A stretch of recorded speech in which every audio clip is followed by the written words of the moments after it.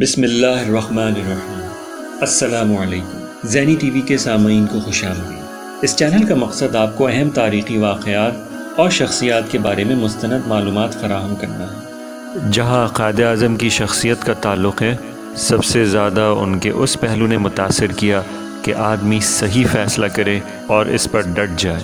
یہ الفاظ پاکستان کے ثبوت اور دنیا میں باعث احترام شخصیت شہید حکیم محمد سعید کے ہیں۔ انسان کی فطرت ہے کہ وہ جس شخصیت سے متاثر ہوتا ہے، اس کو اپنے لیے مثالی نمونہ بنا لیتا ہے۔ جو شخص اپنے مثالی نمونے کی پیروی کرتا ہے، وہ کبھی ناکام نہیں ہوتا۔ قائد اعظم ایک باصول اور دیانتدار شخصیت کے مالک تھے۔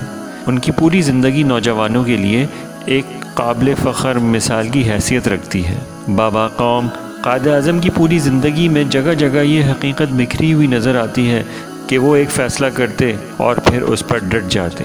حکیم محمد سعید کی زندگی کامیابیوں سے پر تھی اور یہ کامیابیاں انہیں اس لیے نصیب ہوئی تھیں کیونکہ انہوں نے قائد اعظم کی زندگی کا نمونہ سامنے رکھا تھا۔ قائد اعظم کی طرح حکیم محمد سعید بھی وقت بہت پابند تھے۔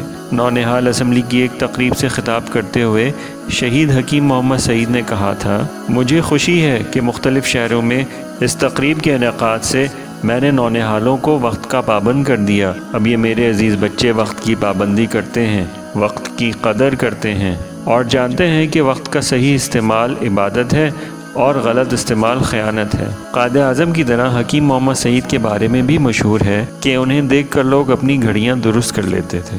حکیم محمد سعید نے اپنے عمل سے ثابت کیا کہ وہ پاکستان کو مضبوط، مستحکم بنانا چاہتے ہیں۔ اور وہ یہ بھی جانتے تھے کہ یہ سب کچھ اس وقت ممکن ہو سکتا ہے جب ہم تعلیم پر زیادہ زور دیں۔ اس مقصد کی خاطر انہوں نے جو خدمات سر انجام دیں، وہ کسی سے چھپی نہیں ہوئی ہیں۔ حکیم محمد سعید نے اسکول سے لے کر یونیورسٹی تک قائم کی۔ وطن کے نونحالوں کو علم اور اخلاق کے ہتھیاروں سے مسلح کرنے کے لیے انہوں نے ہمدرد نونحال جاری کیا۔